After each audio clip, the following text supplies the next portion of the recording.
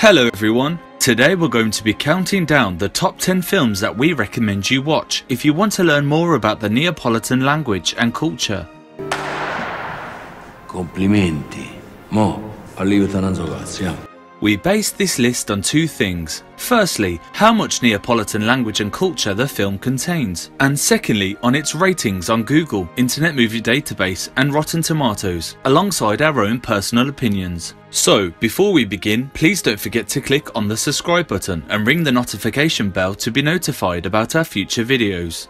Today we will be counting down Neapolitan language films, but please note that due to many films not being dubbed in Neapolitan, some movies could also be Italian films based in Naples that may contain more Italian than Napolitano, but they will still contain plenty of Neapolitan culture. So, without further ado, let's begin. Number 10 Vita Cuore Battito Sai che a me mia mamma mi ha partorito settimino. Infatti ha fatto sto mobile. Well known all over Italy as Arteteca, who came from the famous Italian comedy television program Made in Sud, beloved artists Monica and Enzo star in their own great comedy film. Monica and Enzo are two 30 year olds from the outskirts of Naples who live a routine lifestyle. Enzo works in a clothing store, he's a good but distracted boy, while Monica works as a hairdresser and a beautician. Sobria, elegante e la terza ve la dice la signora perché già mendicata. Minimalista. Their days seem quite simple until one day the lives of Enzo and Monica are turned upside down when they receive a European trip from a gangster. The film is full of comedy, creativity and culture. Also if you enjoyed this film, we would recommend giving the sequel a try, Finalmente Sposi. Tagliava un pazzo. Even though the film is generally not as popular as the first one, it may still be worth a watch. Number 9 Troppo Napoletano Troppo Napoletano is a perfect romantic comedy, especially for Valentine's Day. Ma non la conoscono tutto quanto. Vengo tutti i lunedì con mio padre. Ah, tuo padre. When Deborah's ex husband, a well known neo melodic singer, dies after a stage dive, Deborah worries for her 11 year old son, Ciro, who is showing signs of depression. Looking for a solution, Deborah takes her son to see a psychologist named Tommaso. During the therapy sessions, Ciro explains that it's not his father's death that's upsetting him, but actually his love for a girl in his class named Ludovica. The two make a deal that Tommaso will help Ciro to win the affections of Ludovica if Ciro helps Tommaso to win a chance with his mother. Ciro la sta baciando. Non si capisce. Ma come non si capisce? Quando uno bacia un altro si capisce perché sono attaccati, si si vede. This film contains many Neapolitan references and beautiful shots of Naples. Being a lovely film, it definitely deserves a spot on our list. Number 8 Totò Sapore e la magia della pizza. Sorridetemi. E forza, dai, sorridetemi. This animated family movie is set in 18th century Naples. A young Totò Sapore dreams of becoming a great chef in Napoli, but being poor, he can't buy the ingredients. Everything changes when he meets Polichinella, the Neapolitan character that personifies the traditional Neapolitan character in all its aspects, who gives Totò four magical pots, which in turn leads him to become the cook of the royal family. But the witch Vesuvia, who resides in Mount Vesuvius, mistress of the magical pots, hates the cheerful spirit of the Neapolitan people, abbastanza, napoletani. and especially that of Totò Sapore, and plots against him until Totò, with his imagination, invents the traditional pizza and manages to save Naples from the enemy siege. Pasqua, tengo una fame che mi mangerei il fucile. Quasi quasi. This film is a great tale of how the Neapolitan pizza came to be, made into such a beautiful story with song, colour, and comedy. This film is definitely a great movie to watch for Neapolitan culture and far fetched history. Number 7 Incantesimo Napoletano. This clever film is based on a girl named Assuntina, who is born into a Neapolitan family and as she grows up, she begins to speak with a strict Milanese dialect. Mia figlia parla milanese. Come parla milanese? Parla napolitano. Chi parla napolitano? E si parla milanese. Oh ma. This very strange abnormality puts her relatives in despair, and over the years, her family tries to change her back to her traditional Neapolitan roots. Addosta piccerello. In cameretta sua che aspetta. Vi accompagno, professore. Vado da solo, conosco la strada. Yet Assuntina's predicament worsens, so much so that she's given the name Cotoletta, which reflects her refusal to adapt to any Neapolitan tradition. Every attempt is in vain, as is the stay in Torre Annunziata, to help her study the true Neapolitan language with her uncles, commoners who only speak in a very narrow dialect. Number 6. Il Principe Abusivo. This great film contains a good deal of Neapolitan culture and language, as well as having a great story and deserves a place on our list. Tu sei un! Tanza tratta! The movie is about a beautiful and spoilt princess named Letizia, who's looking for popularity.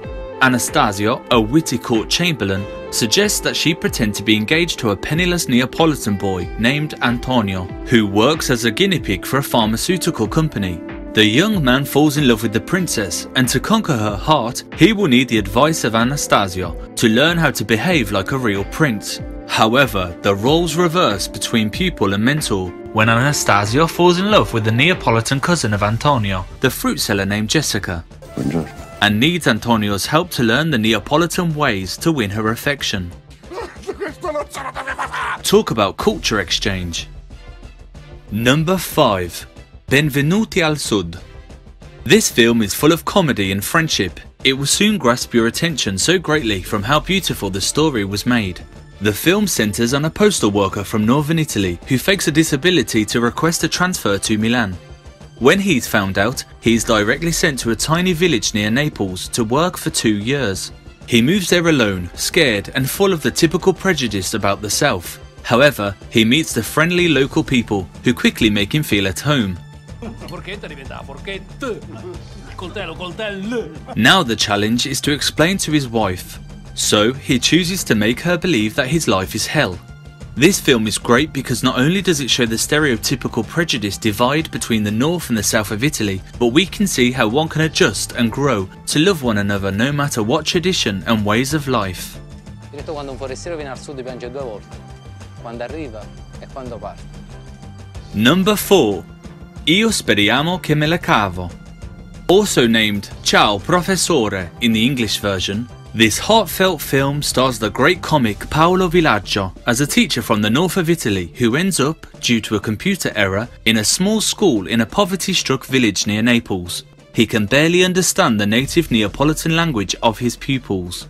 Lasciatemi! Non mi che! Chillo maestro mi sta cariando Ma lo senti che non si capisce quello che dici? Devi venire a scuola assolutamente. When he slowly starts to understand them and the problems that they face at home, it really shows the charm of this great film.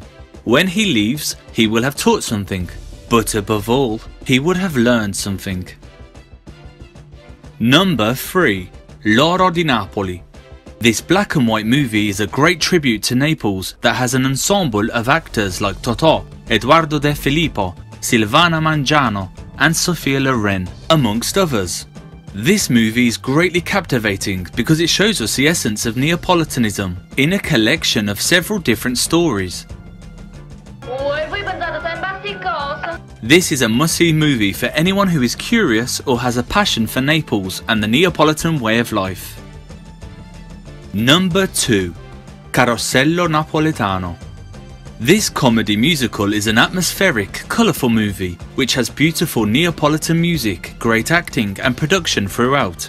Carosello Napoletano is uplifting, symbolic and a work of educational value for the Neapolitan culture. Antonio is the head of a family of street musicians in Italy. As the travelling cast performs in Naples, the film takes the audience on an adventure through the culture and the history of Italy. The group acts out a musical rendition of the Moorish conquest of southern Italy and meets up with other street performers. Along the way, the group shares its passion for music and folklore.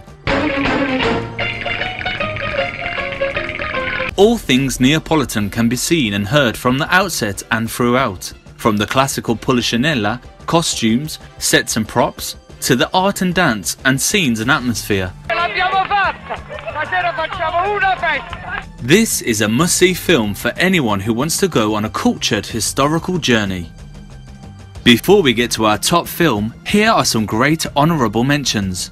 Ma perché quando parlate vi mettete sempre la mano qua? È perché... È perché si tolga, mesce sta voce e merda! Ma tu sia Madonna!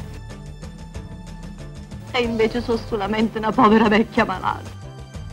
Perciò fammi sta grazia. Fammi sapere che il figlio mio sta veramente buono. Ogni zona deve avere un capo. Un capo. Nella Sicilia i siciliani, nella Calabria i calabresi e in Campania tu. Eh, scusate signor, ma voi dove siete nati? E che c'entra il vostro fare? Sono di Afragola. Ah, Signor, scusate, vorrei sapere che cosa avete voluto dire con quella... ha già fatta? Ah, no, io ho già fatta... Ah. So this is what reached number one on our list. Based on overall rating and usage of the Neapolitan language or culture. Number 1. Gomorra. We couldn't have made a Neapolitan film list without mentioning at least one film about the Camorra. And whilst there is many Neapolitan crime films, we have chosen this one because its wide use of Neapolitan language from the dark and dangerous parts of Naples. I familiari brava gente. Boom, boom, boom, hanno fatto. A ah, così. Ce l'hanno pigliato. In the ghettos of Campania, the crime organization, widely known as the Camorra, have created a fortune of corruption, drugs, and chemical waste. Some try to fight back, like teens Ciro and Marco, who decide to steal a Camorra's weapon supply in an attempt to take control themselves. Others make an effort to hide, like Pasquale, trying to get around paying protection fees. But the realization sets in that the Camorra is too large, too powerful, and too deeply immersed in Italy to be challenged. Non sono come te. No, è come se. Sono diversi. Eh, sì? If you love real life crime stories, this is a great film for you. Do you agree with our picks?